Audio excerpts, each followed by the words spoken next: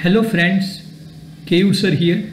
Today we are going to see the difference between basic research and applied research. So this is the first topic in your research methodology subject of second semester of MBA course curriculum.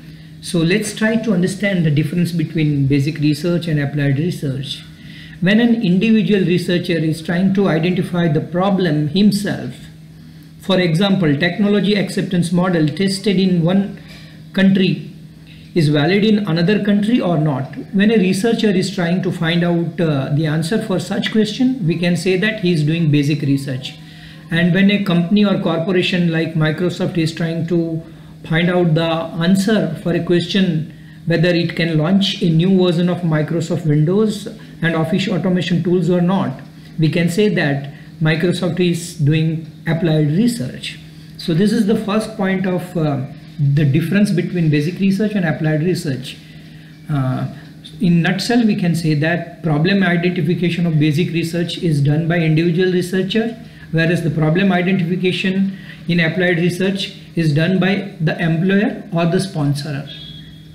The second point is the research arena of basic research and applied research. So basic research is generally performed in laboratory. For example, new tablet or drug invented by the pharma company in lab. And uh, when we are trying to launch the newly invented tablet or drug in the market for curing diseases, I mean, when we are launching the product in real world setting, it is an example of applied research.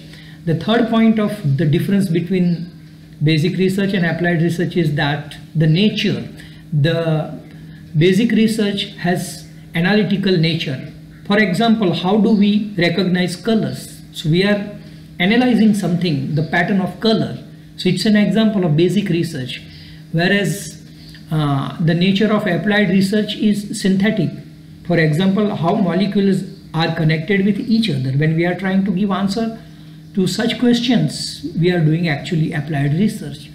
The motivation behind basic research is intellectual curiosity, whereas the motivation behind applied research is uh, the commitments to enhance public welfare. The main goal of basic research is to generalize understanding of theoretical tools and techniques. For example, Newton has invented law of gravitation force on earth. Whether it is applicable equally in all the countries or not. When we are trying to answer such questions, we are trying to generalize the uh, understanding. So this is the main goal of basic research, whereas the main goal of applied research is to provide cost-effective solution to social problems. For example, providing communication and internet services at the lowest cost in the society. So this is an example of applied research. So friends, these are the five main important points of the difference between basic research and applied research. All the best. Please follow my video.